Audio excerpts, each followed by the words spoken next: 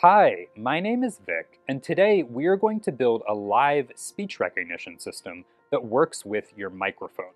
So you're going to be able to press a button and record some audio, and then have that audio be automatically converted into a text transcript. And the amazing thing is it's all going to run on your local machine, and it's going to use your CPU. So you're not going to need a fancy computer or a GPU to make this work. So we'll start out building a Jupyter widget that lets you press a button to start and stop recording audio. And then we'll build a voice recognition pipeline that can take that audio and convert it into a text transcript. Let's get started. We'll end up with a Jupyter notebook that has two interactive buttons, one that says record and one that says stop. When we click the record button like I just did, the system will actually start recording your microphone and transcribing it live. And as you can see, the transcript has appeared, and as I keep talking, it will continue to add to the transcript. And when I'm done talking, I can just go ahead and hit stop, and the live transcription will stop. So this system can be used for almost anything where you want to record your microphone. So you can use it for live events, you can use it for meeting notes, or you can use it to record interviews. And to create this system, we're going to do three things. First, we're going to create Jupyter widgets, like I mentioned, interactive buttons and an output area. Then we're going to install a library called Pi Audio that we can use to actually record our microphone in the background. Then we're going to install a library called Vosk that will be able to do speech recognition for us, and we'll add in the output of speech recognition to our Jupyter widget. And these three components together will give us the system that I just showed you to generate live transcripts of your microphone audio. So enough setup, let's go ahead and dive in.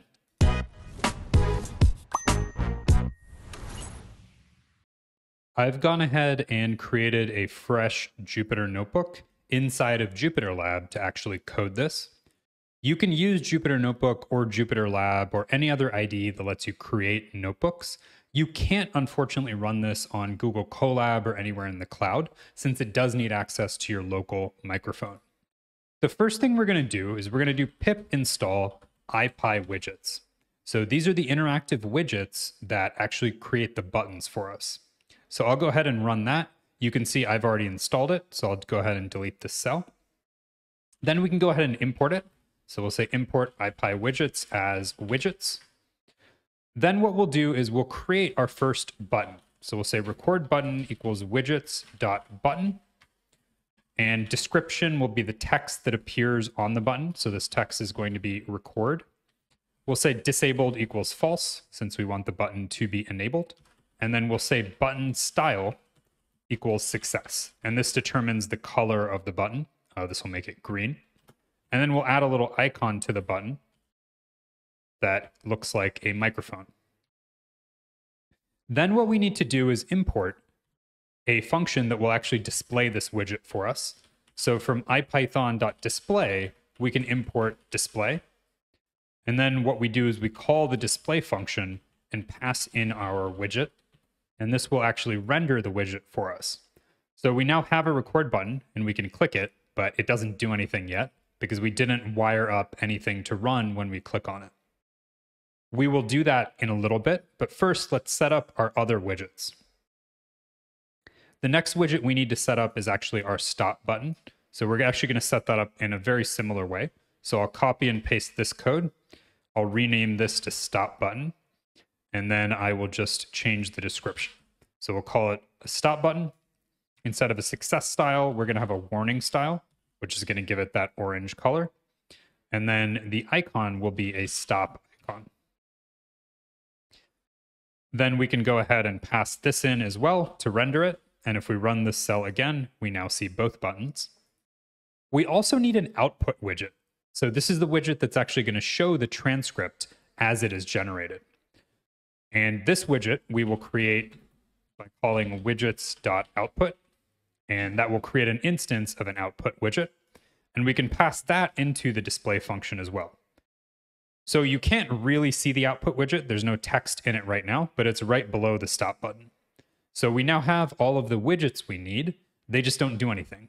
And the fun part of this project is actually making them do something. So we need to write two functions, one that will run when we click record and another that will run when we stop recording.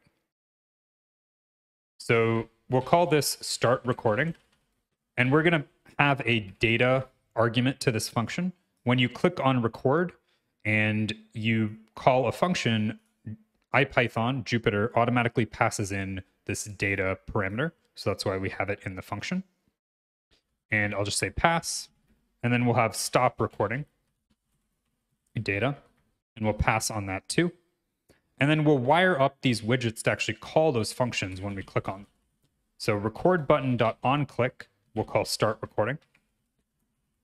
So when we click on the record button, it will call this function. And then when we click on the stop button, we'll call stop recording. All right, so I'll go ahead and run this. And if you click record, it now calls this function, although the function doesn't do anything, so nothing happens. And when you click on stop, it will call this stop recording function. Now we need to make these functions actually do something. So what we're going to do is in a normal program, in a normal Python program, where let's say you're assigning a value to x and then you're printing x, each line of code is executed sequentially. So you'll run this line of code, then this line of code, and then the program is finished after those two lines of code run. So that's the typical way we execute programs.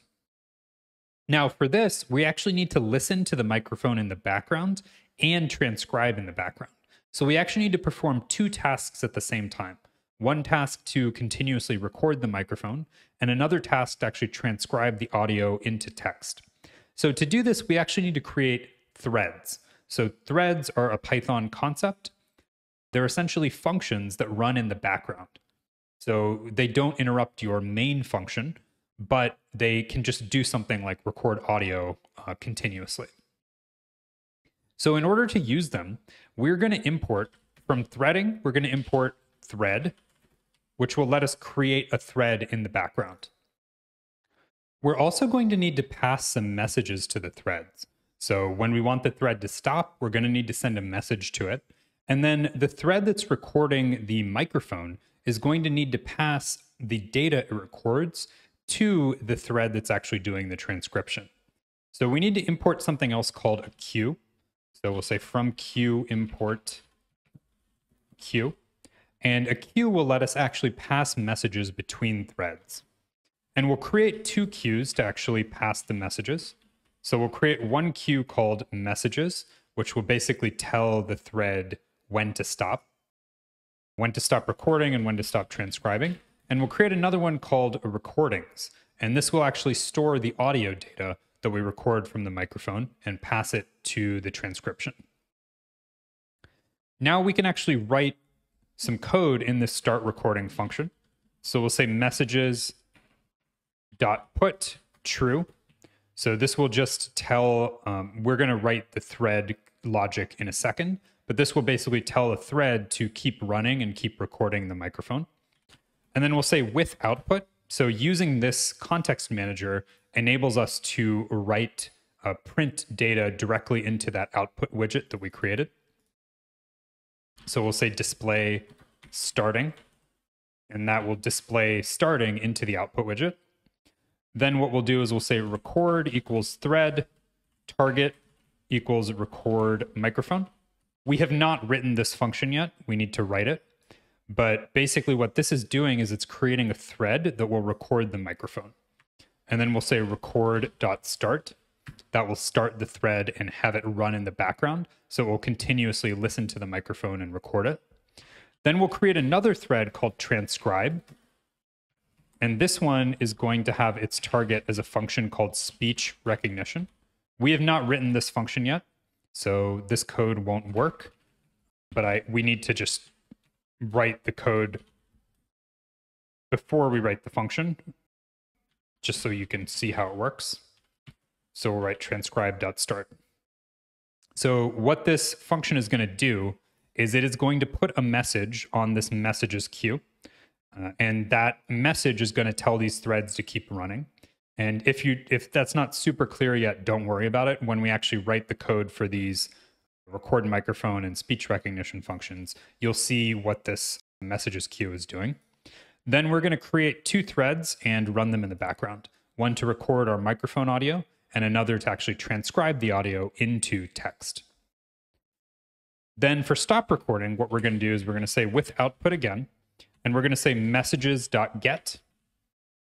This will actually take the message off the queue. So this puts a message on the queue called true, and this just takes the message off the queue. And then what we'll say is display stopped. All right, let me comment these lines out and you can see how this code actually works. So I'll hit run. And then when we hit record, we'll see starting. When we hit stop, we'll see stopped. And basically when we're clicking record, we're running this function. And when we're clicking stop, we're running this function. All right, so that is basically everything we have to do to get the Jupyter widgets to work. And now our goal is to do the next two pieces, which is to write this record microphone function and to write the speech recognition function. So let me go ahead and run this. And next we will go on and write our microphone functions.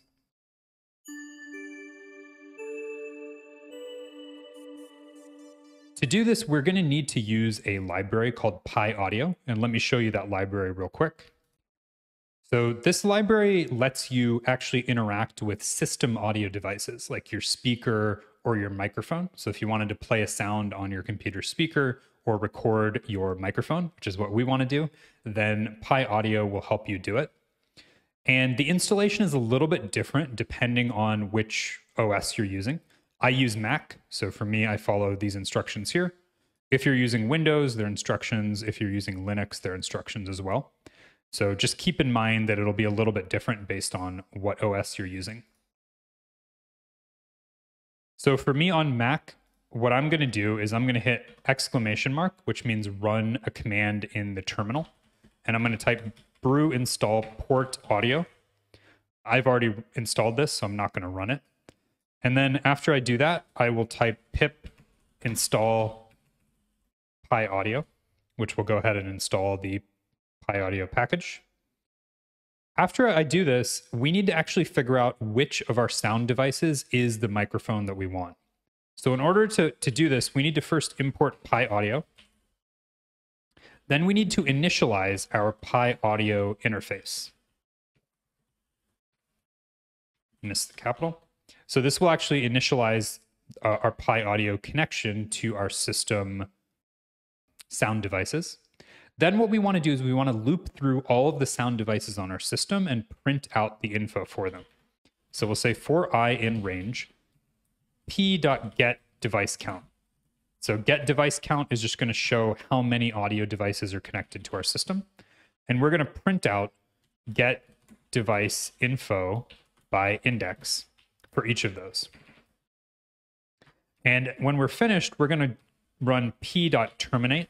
This just terminates our PyAudio connection to all of our audio devices.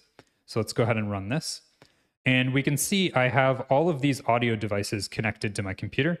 The first is my monitor, which has speakers. The second is my cam link, which I use to connect to my webcam. Then I have my microphone. So this is the microphone that I want to use to record and the index is 2.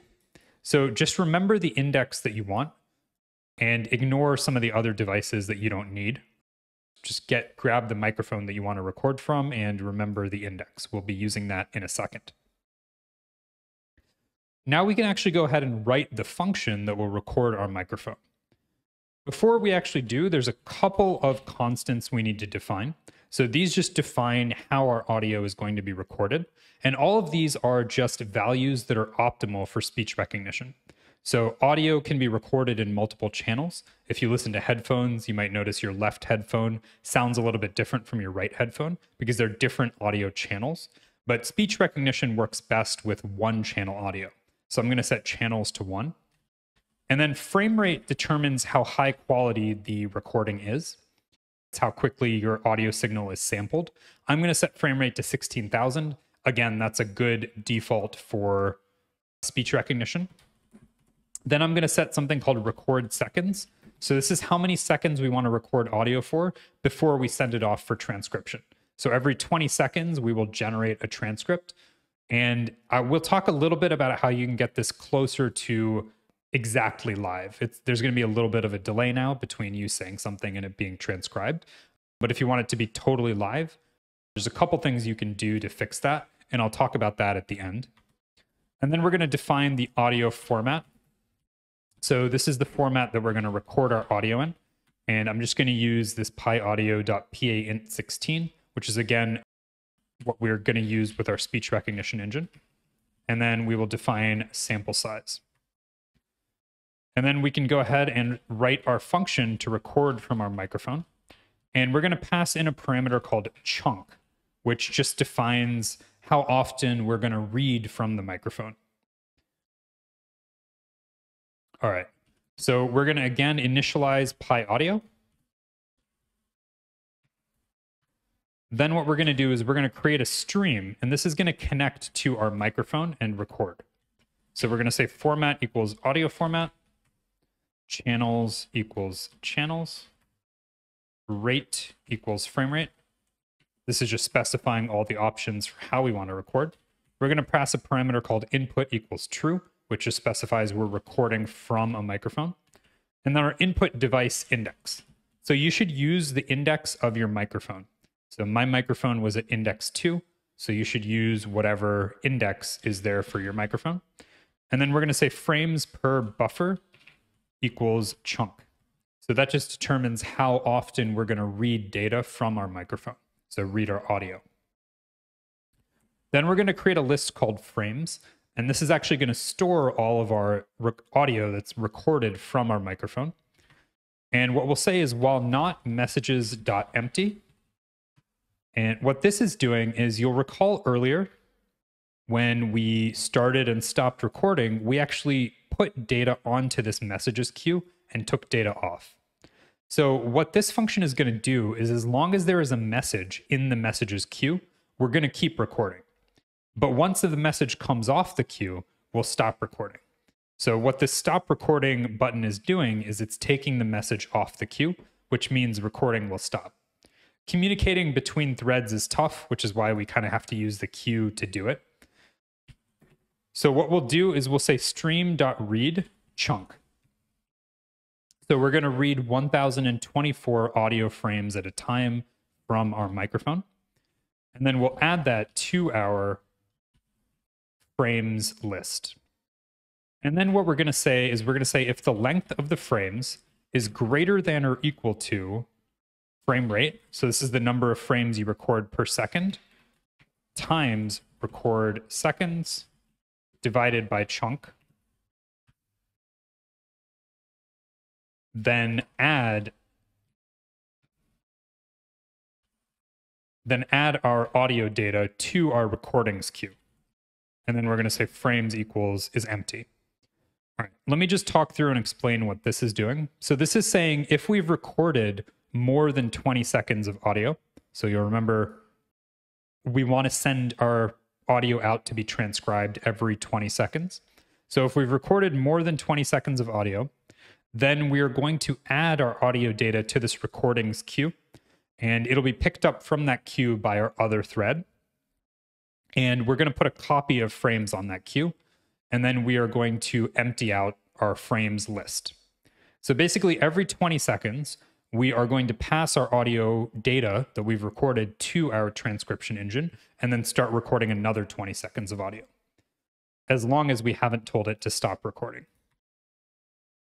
And then once we have told it to stop recording, we're going to say stream.stopstream, stream.close, and then p dot terminate. It's really important to add these three lines because PyAudio actually opens up a connection to your microphone. And if you don't close that connection, it can cause some weird system issues that are hard to debug. So just make sure you write these lines. And then we can go ahead and run this. And we now have a function to record our microphone audio. So when we click record, this thread will actually run that function in the background. It'll run the record microphone function.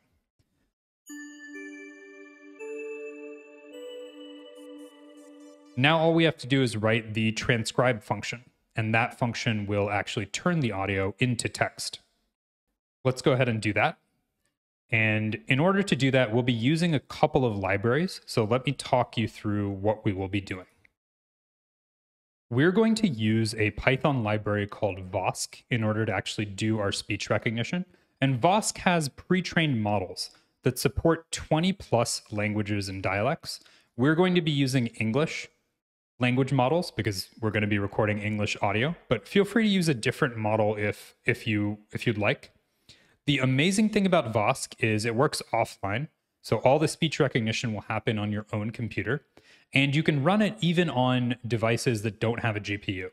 So it can even run on a Raspberry Pi or an Android phone. In this case, we'll be running it on a computer, but you don't need a really fancy machine or a GPU to actually run this. And it installs pretty easily with just pip install Vosk. So looking at Mo Vosk models, you can see there's a several different models for every language. For English, there's three models. We're going to be using this model in the video. It is a it is a really big model. So if you don't feel like downloading a 1.8 gigabyte file, you can feel free to use this model and I'll show you how to use it when we get to that code. The unfortunate thing about Vosk is it outputs transcripts without any punctuation, with no capitalization, no periods, or anything. So we need to use another model to actually add in the punctuation. So if you scroll down on this models page and you go to punctuation, you can see that there is this Vosk recase punc model. So if you want to add punctuation, you'll also need to download this. It's not necessary, right? If you're okay with a transcript without punctuation, you don't need to do this. But I'm I'm going to show you how to do it, and, and I recommend doing it. So that's just, you'll have to click right here to download that. Okay, let's head back over to our notebook and we will actually install all of the packages and actually run our speech recognition. So the first thing you'll need to do is pip install Vosk, which I've already done. Then you'll need to run pip install transformers, which this is needed for that recase punc that adds the punctuation back into the transcript. And then you'll need to install PyTorch using pip install torch. And this is a requirement for that recase punc model. So those are the three things you'll have to install. And then we're going to go ahead and import a few packages. So we'll import subprocess. Uh, we're going to use this to call our punctuation model. It's basically a Python package that creates a separate process that lets you call commands on the command line. We're going to import JSON, and then we're going to import from Vosk, we're going to import model and call the recognizer. And then what we can say is we can say model equals model, model name equals, and I'll just copy and paste this in, Vosk model ENUS. So this is that 1.8 gigabyte model. But if you want to use a smaller one, you just use the name of the smaller one instead of this name. So there was that small 40 megabyte model. You can definitely use the name of that model instead.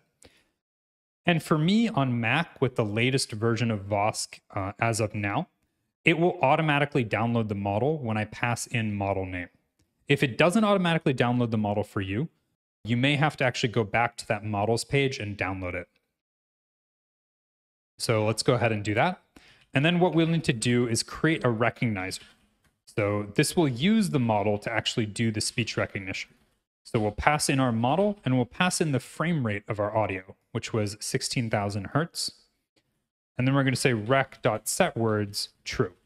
So this will give us confidence levels for each individual word. So for example, if I say a word and the system is not confident that I actually said the word that it thinks I said, it'll give you a probability that it's the transcription is correct. Now we can write our speech recognition function.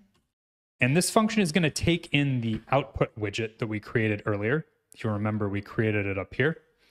And this widget is, is what we're going to use to display that transcript live. So what we'll say is while not messages.empty, frames equals recordings.get. So messages.empty, this is just making sure that we have not clicked stop recording. Once we click stop recording, that messages queue will be empty and uh, this will not run. And recordings.get. So you'll remember in this record microphone function, we are putting our audio data into this recordings queue. So this is essentially pulling the data out of the queue. So it's grabbing our microphone audio from the other function so we can use it in our speech recognition engine. Then we're going to say rec.accept waveform. And our frames are going to be several different chunks. You'll remember we're reading 1024 frames at a time from a microphone. So this is just joining all of the chunks together into one single binary string. So we're passing that in, and then we're going to say result equals rec dot result. And then we'll say text equals JSON dot loads result. Text. For whatever reason, Vosk actually returns its results in JSON format. So we need to use the JSON library to load the result and get the text key. The next thing we need to do is actually add punctuation into our transcript. So I'm going to open up my files here. So earlier you saw that I showed you that recase punc model on the Vosk models page. I extracted it into the recase punc folder, and you can see the notebook I'm working from is called microphone 2, and the recase punc folder is here. So make sure it's in the same directory as your notebook. And when I click in, I should see at least this checkpoint file, which is the actual model we're going to be using to add in punctuation and this recasepunc.py file, which is what we're going to be calling to actually run it, run the model for us. So make sure you see these two files. And this is optional. If you don't feel like downloading it, just ignore the next couple of lines of code. So what we'll say is cased equals subprocess dot check output. And what we'll say is Python recase punc recase punc .py. And then we'll pass in our checkpoint, which is the trained model. Recase punc checkpoint. And we're gonna we're gonna run it in the shell. So we'll say shell equals true. We're running it in the user shell. We're gonna say text equals true, which means I'm gonna pass in some text as input, and then my input will be the actual transcript so this text variable. So this will go ahead and take our transcript with no punctuation and add punctuation. So the reason I'm using subprocess.checkoutput is because I don't want to write a lot of code to actually do the recasing.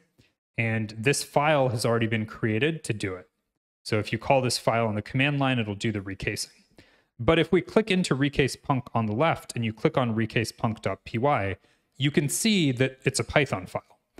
So if you wanted to make this code that we're writing a little bit more efficient, you could actually import the same modules as that file and actually preload the model so we're not loading and running it every time.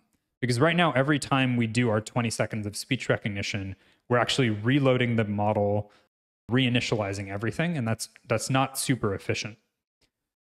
So if you if you actually instead of calling this as a command line command, if you actually just wrote the Python to do the recasing, it would be a lot faster, and you could you could reduce this uh, re- record setting second setting. You could probably get it closer to three, two or three, which would feel a lot more live in terms of the transcription.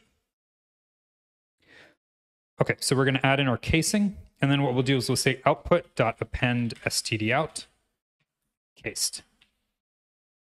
And what this is doing is it's it's adding our transcript into our output widget. All right, so that is actually all the code we need. So I'm going to go ahead and run these two functions.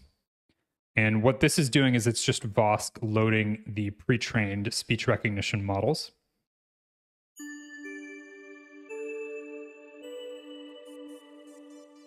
And I can go back up here, run this again. And now when I hit record, it should say starting. And as I talk, it will start actually transcribing what I'm saying live, which is really, really cool. So let's let's go ahead and see that starting. While we're waiting, let me go ahead and just explain all of this code again.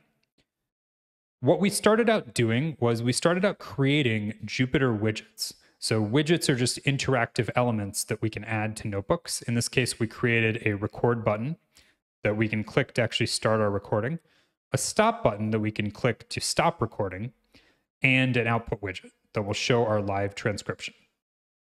We then wrote a function called start recording that actually initializes two background threads, one to record our microphone continuously, and the other to actually transcribe the audio from our microphone into text. And these two need to be threads because they both need to run at the same time in the background. And then we created this messages queue that we added a value to. So when we put a value onto the queue, that means that we want our recording and our transcription to run. When we click stop, we actually take the value out of the queue, which signals to these two threads to stop running. Then we hooked up our uh, our widgets properly. So when you click on them, they start recording and stop recording. And you can see our transcript is actually showing up as I'm talking, which is really cool. And it's actually pretty accurate. Also very cool. Then what we did is we used PyAudio to actually find the microphone that we need to record from. In my case, it was index 2. Then we wrote a function called record microphone that opened up a stream to our microphone and records audio frames from our microphone until we click stop recording. It reads at 1024 frames at a time. Once we have 20 seconds of audio, it, uh, it passes our recording over to the next function, which does the speech recognition. Then we used Vosk to actually do the speech recognition. So again, while our queue is not empty, we are continuously grabbing our recordings from the queue, then we're passing them into our speech recognition engine, and we're adding them to our output widget using this output.append stdout. All right, so there's a lot you can do with this if you want to continue extending it and adding to it. The first thing you can do is make it more efficient. So it's not quite real time now. And a big reason for that is because this command has to reload the model every time. So I mentioned how you can make this more efficient. You could also just leave this out if you want to, uh, to not worry about adding in casing, and it would run a lot faster in that case. Another thing you could do is you could aim to do some sort of live translation. So you could add in a translation model here to translate from English into another language or vice versa. And we installed a library called Transformers earlier. And you can actually use that library to do translation as well.